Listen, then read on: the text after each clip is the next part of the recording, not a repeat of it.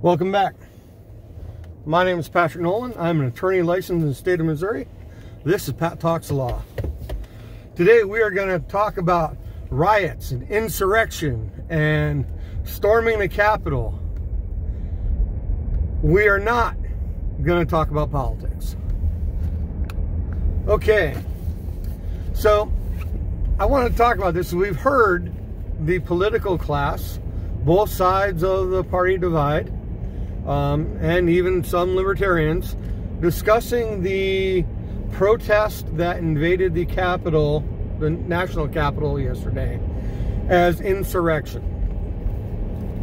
I want to start and back this off a little bit. And let's consider what we're actually talking about. Okay? Now, the use of the term riot may be appropriate.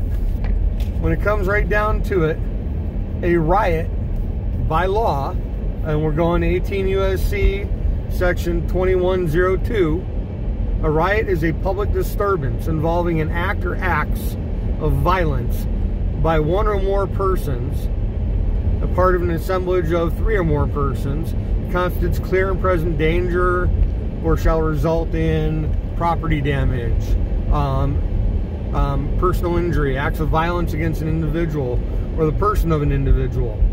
Um, wow, they're just stopped right in the middle of the road. What is going on? Um, now,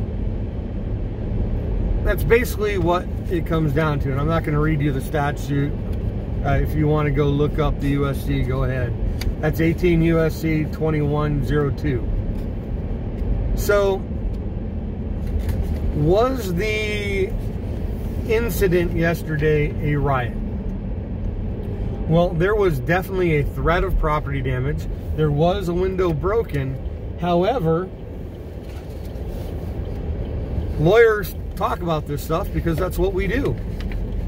And I don't know. Because threat of violence, well, did the did the protesters make any overt threats of violence? Um, well, I didn't see any media coverage. I wasn't there that said that they threatened violence. And maybe they did. If they did, it's a riot. If they didn't, damaging the property of an individual, a person, is the government a person? Well, yeah, I don't know. That broken window could be property damage, could qualify this as a riot because of the broken window in the Capitol. However, if the government is not a person, and I'm not going that far down the rabbit hole today.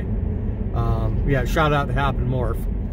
But if the government is not a person, then breaking the government's property during a concerted protest that would otherwise meet the definition of a riot isn't a riot by virtue of breaking, damaging property, or threatening to damage property. It's only a threat of physical violence or the act of physical violence against an individual that would apply then. And if they're not threatening that violence, then you may not have a riot. Now, let's set all that highfalutin legal talk aside for a moment and just simply agree that yesterday was a riot. Okay? There was a, by and large, peaceful protest, and there were bad actors that rioted. There were more than three of them ergo, you have a riot. Does that inculcate everybody outside protesting? You know, that's going to be a question for the courts to decide if they attempted to prosecute everyone. However, immediately after this happened, and even during it's going on, you had political leaders, I'm not going to say who, but on both sides refer to this as an insurrection. Well, I take issue with that. And here's why. Okay, insurrection is defined. It's 18 USC 2383. Okay? Whoever sets, whoever incites, sets foot, assists, or engages in any rebellion or insurrection against the authority of the United States or the laws thereof, or gives aid and comfort thereto, shall be fined under this title and imprisoned not more than 10 years or both, and shall be incapable of holding public office under the United States. Now,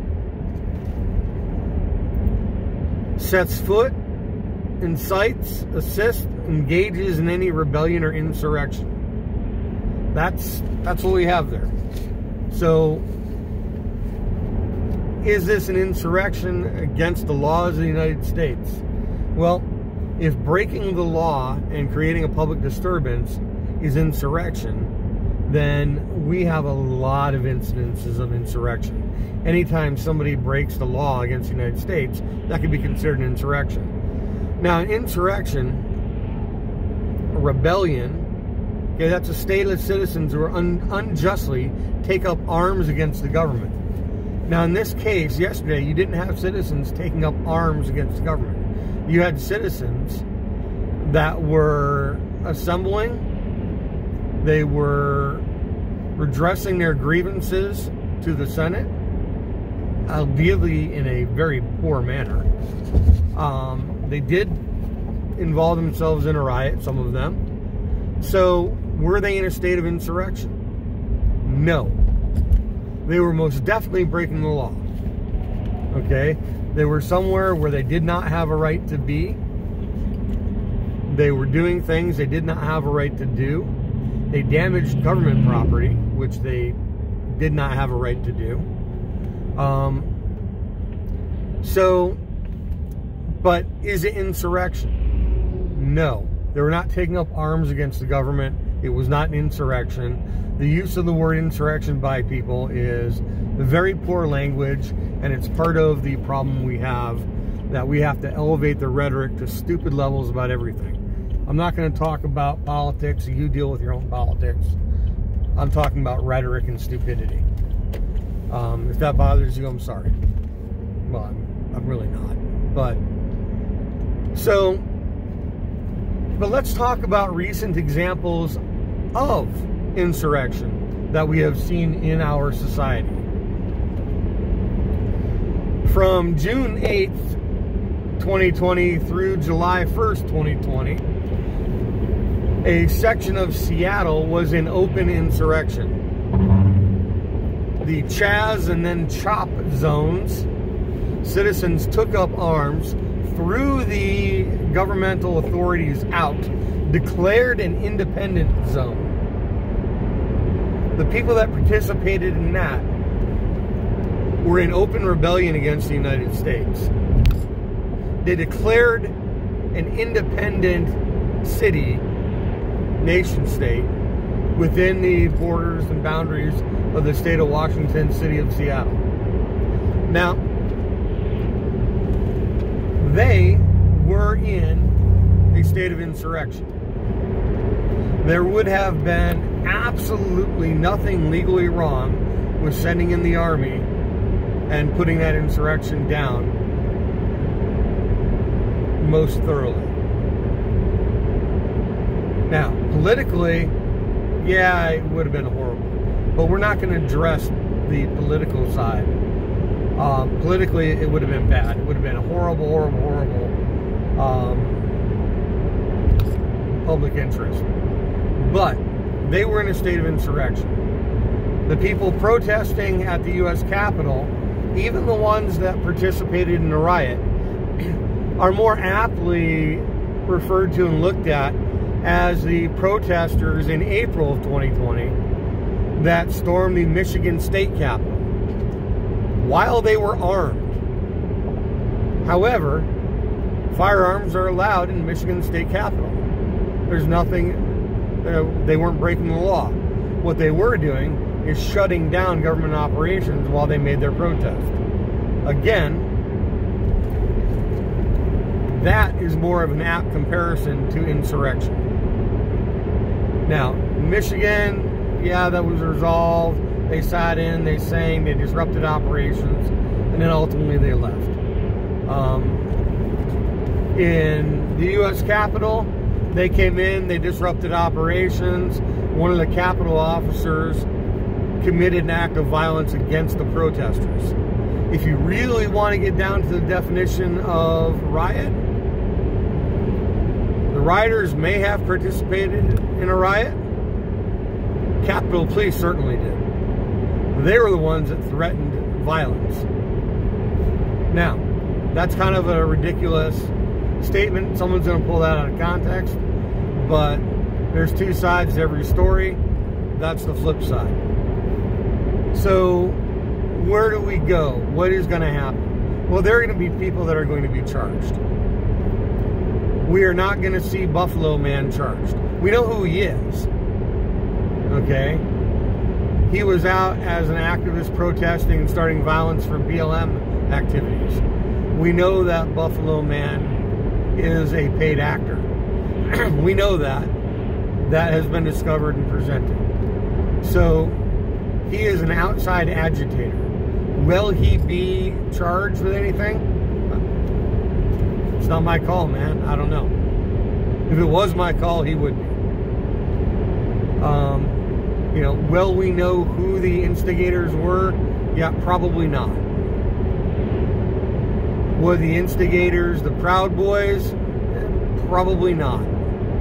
Were the instigators the busting Antifa folks that came in to start trouble?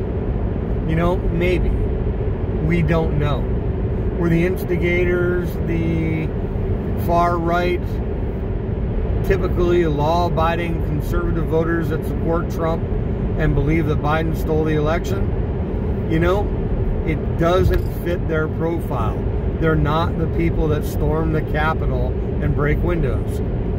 They're the people that sit in their coffee groups and their prayer circles and complain in prayer and pray about it. They're not the ones out there taking those kind of actions. So Who's behind it? I don't know. We're never going to know. Um, that doesn't mean you let it go. But when it comes right down to it, was it a riot? Most likely, yes. Was it insurrection? Oh, no. No. The Whiskey Rebellion, that was an insurrection. The South seceding, that was rebellion and insurrection. Um,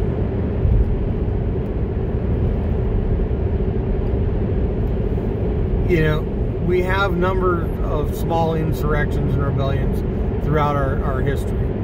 This was not an insurrection. This was people getting pissed off, protesting, and then some bad actors converting that, stealing the protest, turning it into a riot. So, Do people have a right to protest their government? Yes, they do. Should they? Yes, they should. Do they have a right to disrupt government operations? Well, you're crossing into some lines and you're going to break some laws. The question is, is are the laws just?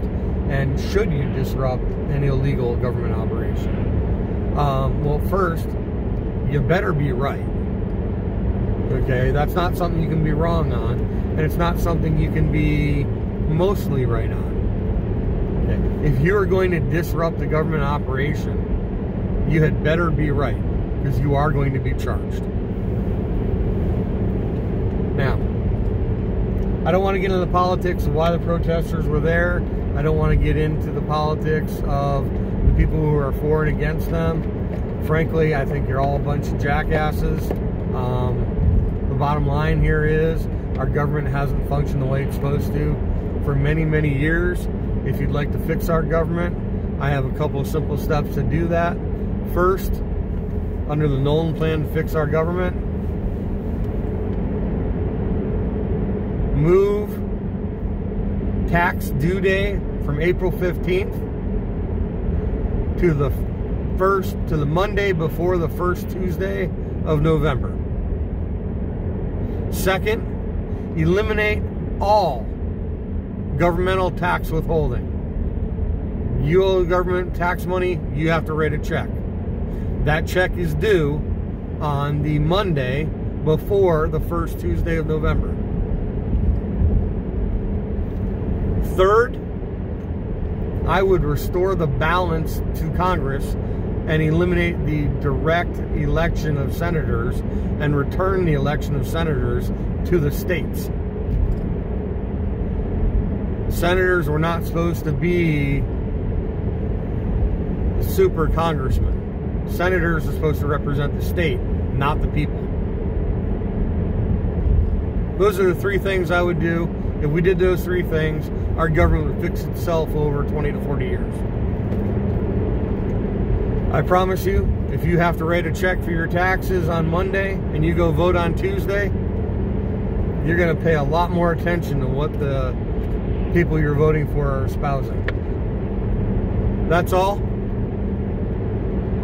Please hit like, subscribe, you know, share this shit wild, and uh, we'll be talking again soon.